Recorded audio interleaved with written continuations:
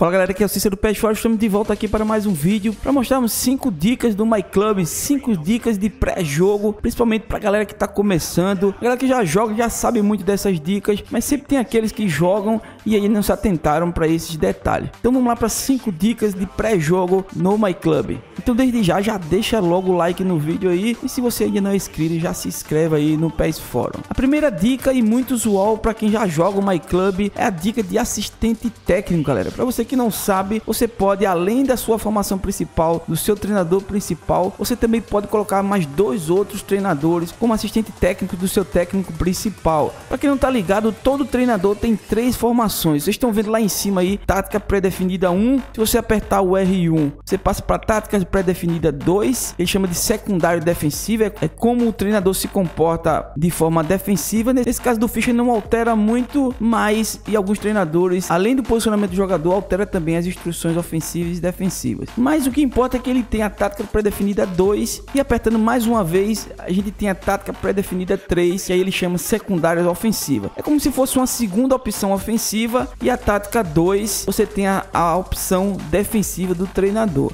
mas eu posso, para mudar meu estilo de jogo, acrescentar, como eu já falei, um assistente técnico. Na verdade, dois assistentes técnicos. Então, na tática pré-definida 2, eu coloco um técnico mais defensivo de, de, preferência. E na tática pré-definida 3, eu coloco uma outra formação ofensiva. E para fazer isso é muito simples, galera. Com o cursor em cima do treinador, da fotinha do treinador aqui do Fischer, eu vou para a tática pré-definida 2, que é a formação secundária que eu quero colocar como mais defensiva. E aí eu aperto quadrado. Quando eu aperto quadrado, aparece a opção de alterar assistente técnico. Mas como eu falei, galera, eu vou voltar aqui para vocês verem. Porque se eu tiver na tática pré-definida 1 e apertar o quadrado, veja que essa opção já não aparece. A opção que aparece é alterar técnico, porque eu tô na minha tática pré-definida 1, então o sistema entende que você quer trocar de técnico e não acrescentar um assistente técnico. Então para isso você tem que estar tá na segunda ou na terceira tática pré-definida. Então voltando aqui, Apertando o R1, eu vou para tática pré-definida 2 e apertando quadrado aí sim aparece alterar assistente técnico. Confirmando essa opção, ele vai para minha lista de técnicos que eu tenho disponível nos meus membros do My Club. No meu caso aí só tenho três. Nesse caso aqui eu não tenho nenhuma tática que mude muito em relação ao fish em termos defensivo. Mas eu vou colocar essa daqui como minha segunda tática pré-definida. E aí eu observe se é isso mesmo que eu quero. E aí é só confirmar no X. E aí ele pergunta se eu quero substituir o Fischer pelo J. Anderson. Eu digo que sim, mas na verdade ele não vai substituir o Fischer, o treinador, e sim a segunda formação do Fischer, já que eu já pré-defini nessa condição. E aí pronto, vocês estão vendo ali tática pré-definida 2 e eu tenho como formação secundária defensiva do meu treinador essa formação do J. Anderson. Veja que o espírito de equipe muda e para isso eu tenho que reorganizar meus jogadores que ele tomou como base o do Fischer. Por exemplo, colocar aqui para lateral. Enfim, galera, eu tenho que mexer aqui de tal forma que o espírito de equipe dê uma melhorada. E aí, apertando mais uma vez o R1, eu vou para a tática pré-definida 3, que também eu posso colocar um terceiro técnico, um terceiro treinador. Fazendo a mesma coisa, em cima do Fischer, aperto quadrado, alterar assistente técnico. E aí agora eu vou colocar o Sierra aqui como terceira opção ofensiva. Pronto. O fato é que eu tenho três opções de formação durante o jogo. E dependendo da situação, eu posso mudar meu esquema de jogo em função do adversário, em função do resultado, em função do que eu quero buscar durante a partida. Beleza? Essa foi a primeira dica, assistente técnico no My Club. Na segunda dica, galera, eu já tô com meu time principal aqui, vou mostrar para vocês como é que a gente fixa o número da camisa para determinado jogador. No My Club a gente sabe que é um samba do crioulo doido, na medida que você coloca um novo jogador e tira um jogador que já fazia parte da base do seu time, o número muda. E aí o, o Griezmann joga com a 13, o Sterling joga com a 4. E aí você não tem aquela identidade com aquele jogador. Então você pode muito bem definir o seu time principal com aqueles números padrões do futebol. E aí você pode definir o seu lateral direito principal com a 2, o seu lateral esquerdo principal com a 6 de tal forma que isso não mude, independente do que você faça, dependendo do que você troque o jogador. Para esse novo jogador que você substituiu, o sistema vai atribuir um número diferente daquele que você já definiu que é para aquele jogador principal. Então, você pode ter, por exemplo, o Vidal com a 8 e aí outro meio de ligação que eu coloque aí vai ter qualquer outro número menos o 8. Eu vou mostrar aqui na prática que fica mais fácil. Então, mais uma vez, em cima da foto do treinador, você aperta triângulo e aí você desce até opções de numeração classificação. Chegando aqui você vai ter a lista de todos os seus jogadores e aí apertando quadrado você pode organizar de duas formas, por overall ou pelo nome do jogador. Eu vou deixar aqui por overall e a ordem eu vou deixar decrescente, do maior para o menor. Então, por exemplo, eu já sei quem são meus principais jogadores e tenho ideia do número que eu quero atribuir a cada um. Por exemplo, o Eriksen, eu cliquei no Eriksen, mas poderia ser qualquer um outro jogador. E nessa tela a gente tem 100 possibilidades de número. Então, como vocês viram, eu escolhi o Eriksen e eu quero que ele seja, por exemplo, meu número 10. Pronto, galera. Então, a partir de agora, Eriksen é o meu único camisa 10. Qualquer um outro jogador que eu colocar na posição do Eriksen vai ser atribuído a ele outro número. O Bernardo Silva, por exemplo, eu quero que ele seja o 11. E aí, da mesma forma que aconteceu com o Eriksen, vai acontecer com o Bernardo Silva e assim sucessivamente.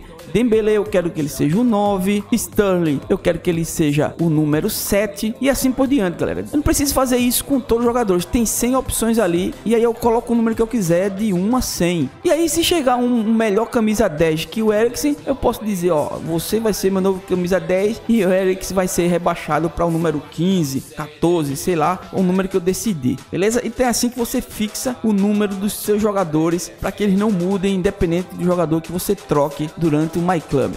E aí nessa tela aqui, galera, vocês estão vendo que alguns jogadores estão com cadeadozinho, né, ao lado de cada nome. Essa é justamente a nossa terceira dica. Esse cadeado não estão relacionado ao fato de eu atribuir um número para ele e esse número ficar fixo, como eu estou mostrando para vocês. Esses cadeados indicam que os jogadores estão bloqueados. E é justamente essa a terceira dica, como bloquear um jogador importante do seu time. Meu critério é o seguinte, galera, bola dourada para cima, para mim tá bloqueado, eu coloco o cadeado. Quem me acompanha aí, quem é das antigas sabe que eu já perdi jogador por engano. Na hora que eu vou renovar o contrato, eu simplesmente escolho o jogador e transformo ele em preparador. Então, para que não aconteça isso, você tem, meu amigo, vá por mim, que bloquear os seus principais jogadores. E para fazer isso também é muito simples.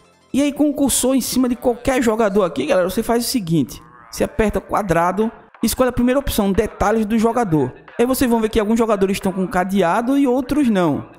Inclusive o Dembele aqui, eu tô correndo risco seríssimo de perdê-lo, porque tá sem o cadeado. Meu Deus do céu. Então alguns jogadores estão cadeados, outros não. Vamos cuidar de colocar o cadeado em todos os meus principais jogadores aqui. Então você tem essa tela de opção aqui, e se você apertar o option no controle do PlayStation 4, ele vai para essa outra tela, a tela tradicional dos últimos pés, e a gente tem uma visão geral melhor para navegar e escolher qual jogador a gente quer bloquear. E aí agora você aperta triângulo que aparece outras opções, essas bolinhas aqui para você selecionar o jogador que você quer. E aí, galera, agora é só selecionar os jogadores que você quer bloquear. No caso aqui vou bloquear quem não está, né? No caso Dembele, o Antônio Lopes, o Septelli, o Piatek, o Debus, Kessier, Quadrado e apenas esse.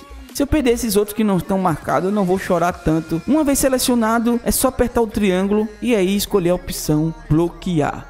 Pronto, galera. Vou voltar aqui pro menu. Então, todos aqueles jogadores que eu selecionei e depois bloqueei estão com o cadeado aqui. E aí, meu amigo, você não corre risco de perdê-lo. E só para vocês terem ideia, eu desbloqueei o San José lá que estava bloqueado e vou aqui fazer o procedimento que geralmente ocorre quando a galera termina perdendo e eu já perdi, como eu falei, alguns jogadores. Veja que o San José não está bloqueado. Eu aperto o botão direito para renovar o contrato do San José. Por força do hábito, na agilidade, você em vez de renovar, você vem aqui nessa opção que maldosamente a Konami parece ter colocado aqui junto da renovação. Então você aperta transformar em preparador e, e confirma assim, pensando que está renovando renovando o contrato, quando na verdade você está transformando o jogador em preparador. E isso, meu amigo, não adianta chorar que não tem volta, beleza? Então é assim que você bloqueia e resolve esse problema logo de uma vez.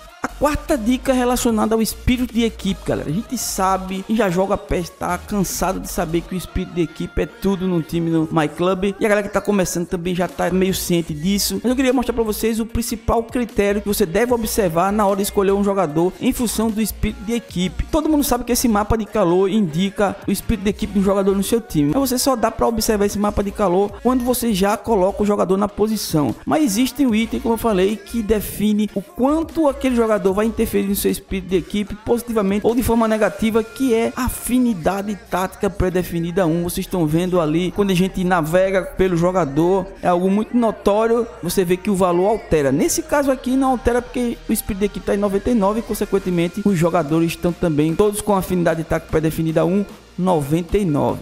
Mas na hora de escolher um jogador, principalmente quando você muda de treinador, esse espírito de equipe vai lá para baixo e você tem que muitas vezes priorizar o espírito de equipe, mesmo quando o jogador não é lá essas coisas. E aí tem um filtro no MyClub e muita gente não se atenta para isso e sai tempo trocando jogador e depois vendo se o mapa de calor e o número de espírito de equipe subiu ou desceu. Então esse filtro que muita gente não se atenta é uma mão na roda para você agilizar esse processo de seleção no jogador sem diminuir tanto seu espírito de equipe. Óbvio que se eu pegar um jogador com afinidade tática pré-definida 99 e colocar numa posição errada, o espírito de equipe vai cair também, que não é só a questão da afinidade tática. Por exemplo, se eu pegar o Fekir aqui e colocar no lugar de Bernardo Silva, eu vou perder porque ele é um mate e eu tô jogando ele de MLD. Mas claro, se eu colocar o Tavinho aqui, que é da posição aqui, não tem nem perigo dele baixar esse espírito de equipe. Já o quadrado, veja que ele está com afinidade tática pré-definida 1, 73 e claro, com certeza ele vai baixar o espírito de equipe aqui quando eu colocá-lo, mesmo ele sendo jogador da posição. E como todo mundo sabe, na medida que você joga, você eleva esse espírito de equipe desses jogadores que estão com a afinidade tática pré-definida 1 mais baixo. Mas como eu falei, existe um filtro na hora de você escolher os jogadores. E essa dica é meio que duas dicas em uma só. Se você apertar o R3 aqui, o analógico colocando para baixo, você tem o filtro aqui com diversas condições. O filtro em si é muito mais completo do que isso que eu estou falando agora. Eu vou usar para selecionar o jogador em função da tática pré-definida. Você pode utilizar para todos esses outros critérios aqui e ele deixa na tela só os jogadores que lhe interessam em função da condição que você aplicou. Mas voltando na afinidade tática pré-definida, por exemplo, eu quero colocar um jogador lá que acabou meu contrato no time principal, por exemplo, no lugar de algum jogador que acabou um contrato ou ele tá cansado e eu quero substituir por um do banco, sem perder o espírito de equipe. Então vou aqui e coloco uma opção em relação a essa condição, já que eu já sei que é ela que condiciona o espírito de equipe. Eu vou mandar ele selecionar os jogadores que têm afinidade de contato pré-definida em relação àquele treinador 99. Lembrando que isso muda em função do treinador, galera. Ele pode não ter para um treinador